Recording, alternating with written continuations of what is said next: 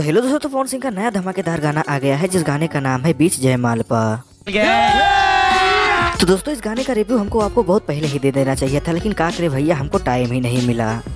कोई बात नहीं। और जैसे ही टाइम मिला हमने आपके लिए वीडियो बना दिया। तो दोस्तों हम पहले ही इस गाने के टीजर का रिव्यू वीडियो बना चुके हैं जिसमें हमने पवन सिंह के इस गाने की बहुत बहुत बड़ाई की थी। अरे कहना क्या चाहते हो? तो दोस्तों इस गाने का टीजर देखकर ऐसा लग रहा था कि यह लगन स्पेशल का सबसे धमाकेदार सॉन्ग होगा। अच्छा। हमको सिखा रिया है। तो दोस्तों हम इस गाने का बहुत ही बेसब्री से इंतज़ार कर रहे थे और यह गाना जैसे ही रिलीज़ हुआ हमने इस गाने को सुना। तुरंत मेरे मन में खाली एक ही सवाल उठा कि हमने इस गाने को सुना ही क्यों? इस सज्जन को क्या तकलीफ़ है भाई?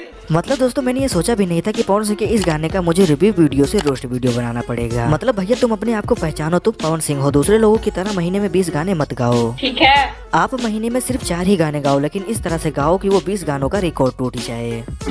सही पकड़े हैं। नहीं दोस्तों आप लोग हमको एक बात बताइए यहाँ पवन सिंह एक धमाकेदार एंट्री करते हैं और वहीं दूल्हे से ये किस तरह की फाइट करते हैं? वेरी डेंजरस ये क्या है?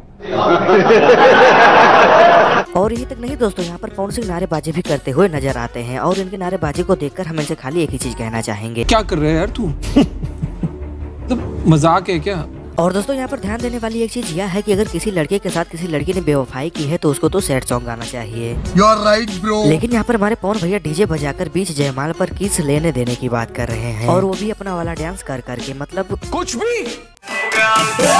डीजे बजा के तोरा बीच जाए माल पा किस ले हम गाल पा